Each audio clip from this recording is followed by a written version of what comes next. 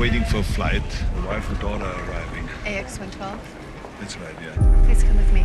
Norman Melnyk. I need you to listen very carefully to what I have to say.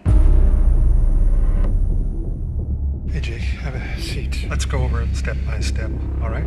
You arrived at the control room at 2205. This damn phone. Without your headphones, you never heard flight. AX112 request to descend. We're getting a warning from our TCAS telling us to descend. The airplane that your wife and daughter were traveling in. Collided in the air at high altitude. AX112, do you copy?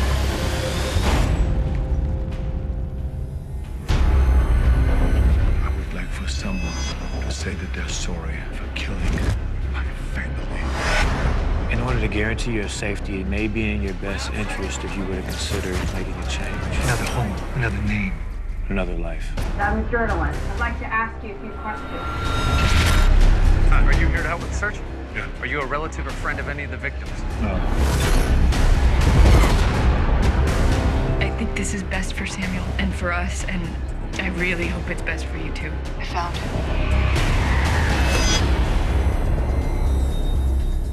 He put his house up for sale and moved to another state. And what's his address? I just want to look him in the eye. Show him a photograph of my family. Look at it! No one has said they're sorry. One. I'm not a bad person, right? I just want this pain inside of me to go.